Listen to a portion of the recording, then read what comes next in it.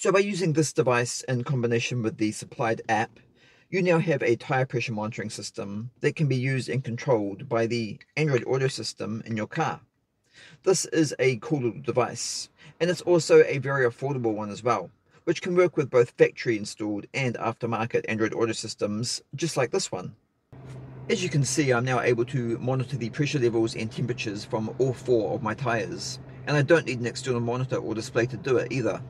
Everything is now displayed and controlled directly from the Android Auto system in my car. This is seriously, without any doubt, really cool tech.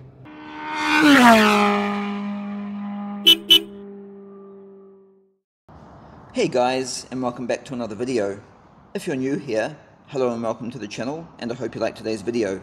If you like car technology content, then hit that subscribe button because that's what you're going to see on this channel. Okay, so today I'm reviewing another really cool car tech device for your car. And this time it's another tire pressure monitoring system. However, what makes this one so cool is the fact that it works with your car's Android Auto system, which is a really great idea because it means all you need to do is open up an app on your Android Auto to view the status of all four tires. And from the testing I have been doing with it for the last couple of weeks, I have to say that it does work really well. Okay, so everything that you see here is what you get with the kit when you buy it. So we have the four wireless external tyre pressure sensors, which you easily just screw onto your tyre valves, and which are all conveniently labelled as well. The tyre pressure sensors power up off replaceable CR1632 3V batteries, and no, these sensors do not communicate with this here, which is the receiver, over a Bluetooth connection. Instead, they just communicate using RF, and at a frequency of 433 megahertz. They are able to measure tire pressures between 0 to 8 bar, and other pressure units such as PSI and kPa are also supported with the app as well. They are not only designed to monitor your tire pressures, but the temperature as well, and can measure any temperature in the range of negative 40 to 125 degrees Celsius. Fahrenheit temperatures are also supported with the app as well, and of course, as you would expect, they are also waterproof and have a rating of IP67. Now, internal tire pressure sensors are also available as well if you prefer them to the external sensors. However, do remember that the sensors are battery powered, so that will be one disadvantage to using internal sensors, as it won't be as easy to change the batteries when you need to. From my experience with aftermarket TPMS sensors systems and the external sensors, the batteries do last a very long time though.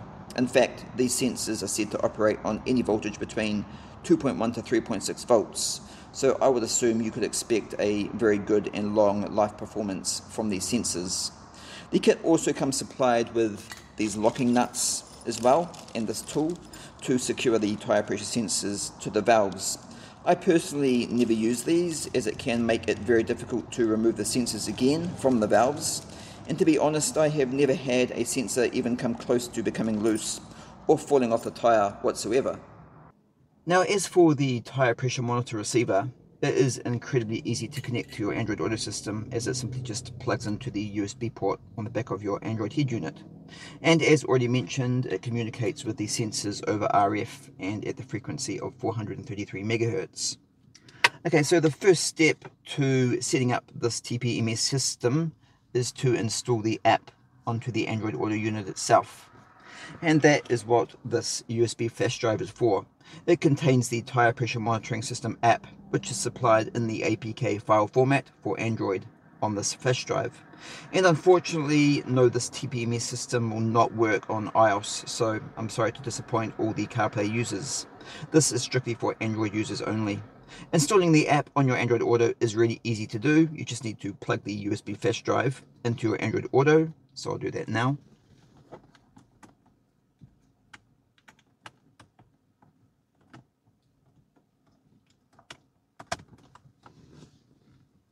Like that. Then you need to go into the files directory. Go into the flash drive and then just simply tap on the app to install it. I have already installed the app, so I don't need to do this again. And obviously the installation procedure will be slightly different for all the different types of systems as well. But the principle is the same. The This TPMS system will work on both factory installed and aftermarket Android Auto systems. However, it may not be compatible with all Android Auto systems. So do keep this in mind. This will be a small minority though. It's definitely compatible with mine, and this is also an aftermarket Android Auto system, which by the way, as mentioned in my last review, is also new to the channel as well. So if you follow this channel closely and you're curious about what this actually is, I'll quickly explain that for you right now. Okay, so as a car tech reviewer, it's really important for me to have a system installed in my car that I can use to test and review all of the products that you see on this channel. And I could not do that with my old head unit as it was just a basic car stereo. So I needed to upgrade and decided to install this one instead. The installation wasn't exactly straightforward because, to be honest, this system is actually designed for a BMW, not an Alfa Romeo at all. But I found a way around all of those problems and this is now the result. An aftermarket Android Auto system with two video inputs and two USB inputs as well, including GPS, Wi-Fi and everything else I need. Now allowing me to test basically anything. However, this is also a 360 degrees camera parking system as well, which I have been slowly working on installing, but there's quite a bit more work involved in that installation yet, so that is something you'll be seeing on this channel in the future. I have had a few of you ask me about that already actually, and yes I did mention a while ago I was going to do a 360 camera parking system video on this channel. Of course it's a car tech channel so you would expect that.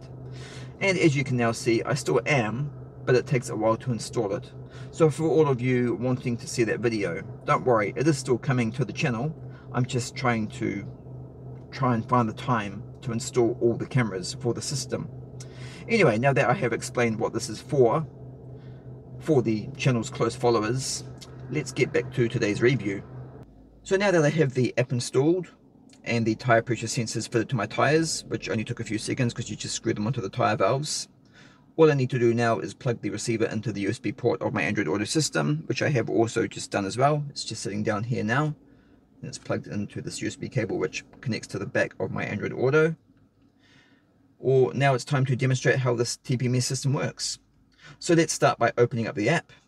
So we're going to apps, find the app which is called TPMS. So we tap on that and then we wait for a few seconds and then you will see the tire pressures and temperature readings displayed on the screen of the Android Auto system.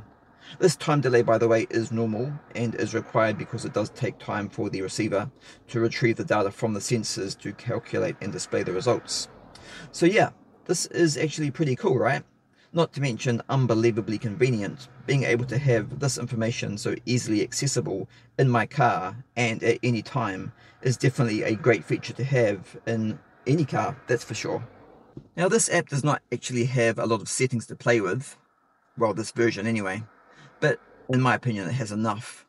So first of all up here in the right hand top corner we have a speaker icon which I can tap on like that to turn the audible sound alerts on and off, which yes, this app does also support.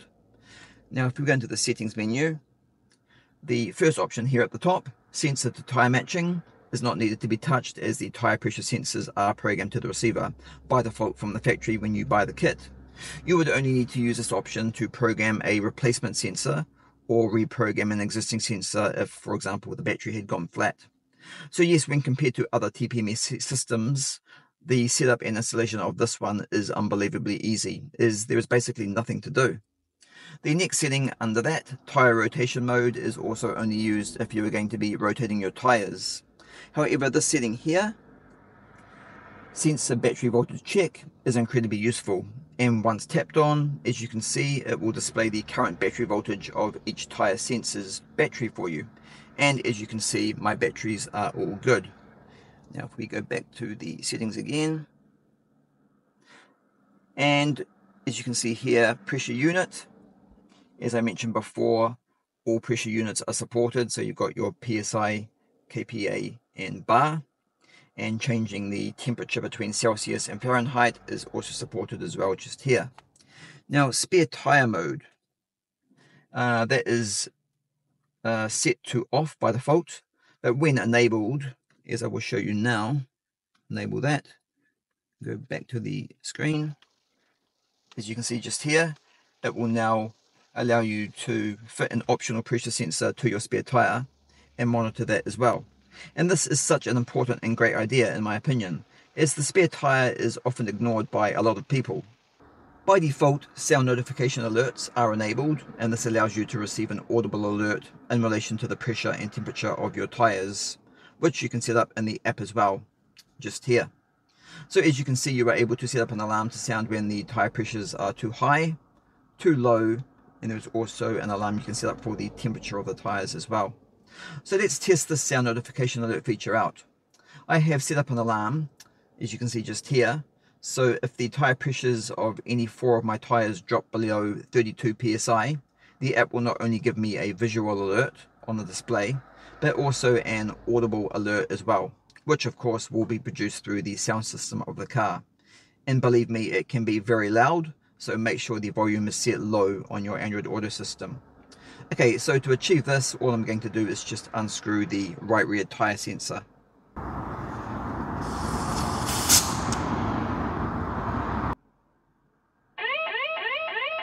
And as you can see, and hear, the sound notification alert feature does work great.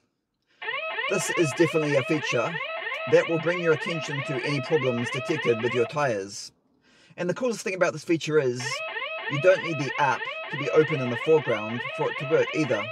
So if you're listening to your music or using the sat nav, you will still receive an audible alert if there is a problem. And that's it. That is how this Android auto-controlled tyre pressure monitoring system works.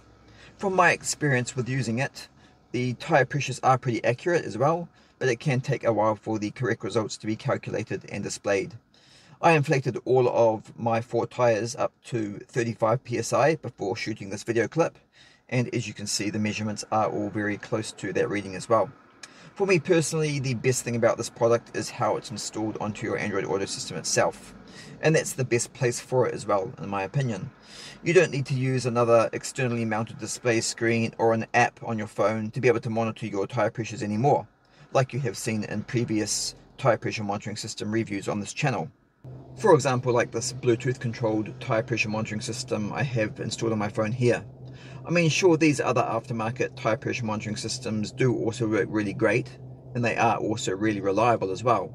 But in my opinion, they are not quite as convenient as a system like this Android Auto tire pressure monitoring system. If you have Android Auto installed in your car, of course.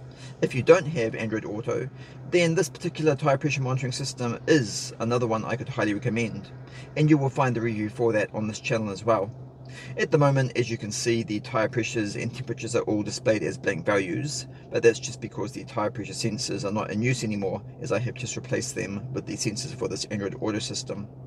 Actually, the features of this tyre pressure monitoring system on my phone are pretty much basically the same as the Android Auto tyre pressure monitoring system, but I do have to admit, when it comes to the setup and installation, this Android Auto tyre pressure monitoring system is definitely the easiest one to set up of them all. So yeah, I personally really like this product, and it's also unbelievably affordable as well. At the time of this review, it's only going to cost you about $20, and that's incredibly good value for money. And it's also a really great feature to have installed to your car as well, and that would be for anyone. Anyway guys, that now brings us to the end of another video, and thank you so much for watching. Now there are actually quite a few different versions of these Android Auto Tire Pressure Monitoring Systems available, and they all use different apps as well. But as usual, I will put a link in the description area below for anyone to use who is interested in purchasing this particular Android Auto tire pressure monitoring system for themselves. It does work really well from my personal experience, but that is of course only with my Android Auto system as well, which by the way is using Android 13. Anyway guys, if you like this video or found it helpful, then please like, share, comment and subscribe to the channel, where you can watch even more really cool car tech videos which I upload every week, and I hope to see you all in the next video.